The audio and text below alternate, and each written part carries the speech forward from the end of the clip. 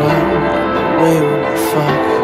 You like to think we pushed through the bad ignoring the problems, just to hold what we had. Don't take this the wrong way. Don't take this the wrong way.